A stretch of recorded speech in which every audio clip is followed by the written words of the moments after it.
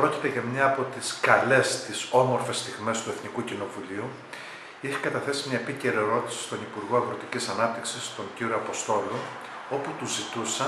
το Υπουργείο Αγροτικής Ανάπτυξης και Τροφίμων να χρηματοδοτήσει μέσα από το καινούριο πρόγραμμά του, το Αλέξανδρος Μπαλτατζής, να χρηματοδοτήσει την εγκατάσταση φωτοβολταϊκών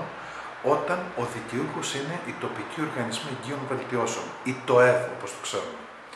Αυτή η πρόταση έχει μια πολύ βασική υποδομή από πίσω. Με νόμο που περάσαμε τον Οκτώβριο του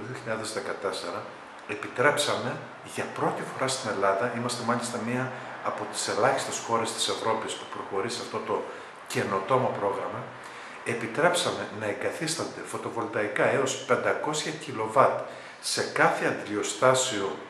που έχει ο κάθε ΤΟΕΒ έτσι ώστε από την παραγωγή ηλεκτρικού ρεύματος μέσα από τα φωτοβολταϊκά να γίνεται ε, χωρίς κόστος η τροφοδοσία των, της άρτευσης των αγροτών. Μάλιστα, επειδή το είχαμε δουλέψει αυτό ιδιαίτερα στην Αργολίδα, η, τα τελευταία χρόνια οι, το ΕΒ της Αργολίδας πληρώνουν, δηλαδή οι αγρότες της Αργολίδας πληρώνουν για ε, ΔΕΗ στον ε, αγροτικό τομέα περίπου 900.000 με 1 εκατομμύριο ευρώ. Η εγκατάσταση αυτών των φωτοβολταϊκών θα μειώσει το κόστος κατά περίπου 50%, δηλαδή θα γλιτώσουμε έως και 500.000 ευρώ κάθε χρόνο. Και αυτό για όλη τη διάρκεια ζωής των φωτοβολταϊκών που ξεπερνά τα 25 χρόνια. Πρόκειται στην πραγματικότητα για το μοναδικό μέτρο που μειώνει το κόστος παραγωγής αγροτικών προϊόντων, το μειώνει με έναν τρόπο φιλοπεριβαλλοντικό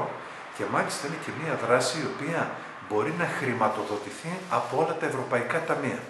Αυτή λοιπόν η πρωτοβουλία είναι μια πρωτοβουλία που μας δίνει τη δυνατότητα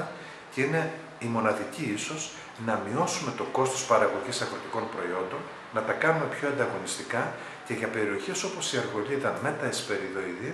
στην πραγματικότητα να μας δώσουν ένα τεράστιο συγκριτικό πλεονέκτημα για να κάνουμε εξαγωγές προϊόντων. Περιτεύει βέβαια να πω ότι μαζί με την ωφελημότητα που θα υπάρχει από τη μείωση του ηλεκτρικού ρεύματος, θα έχουν τη δυνατότητα οι ΤΟΕΒ να συντηρήσουν τα υφιστάμενα δίκτυα άρδευσης, κατά συνέπεια να μην έχουμε και τόσες απώλειες νερού που είναι τόσο πολύτιμο, ιδιαίτερα στα Αργολίδα, γιατί όλοι γνωρίζουμε ότι στα δίκτυα που δεν είναι συντηρημένα, οι απώλειες αρδευτικού νερού ξεπερνούν το 60%. Κατά συνέπεια, έχουμε αυτό είναι το ευχάριστο, την θετική απάντηση του Υπουργού ότι ναι, αποδέχεται την πρόταση που του κατέθεσα και θα εντάξει στη νέα προγραμματική περίοδο τη χρηματοδότηση των ΤΟΕΒ προκειμένου να εγκαταστήσουν φωτοβολταϊκά. Αυτό σημαίνει ότι θα έχουμε περίπου κατά 50% μείωση του κόστου ηλεκτρισμού που πληρώνουν οι αγρότες της Αργολίδας αλλά και όλης της Ελλάδας και μείωση κατά περίπου 60% των απολειών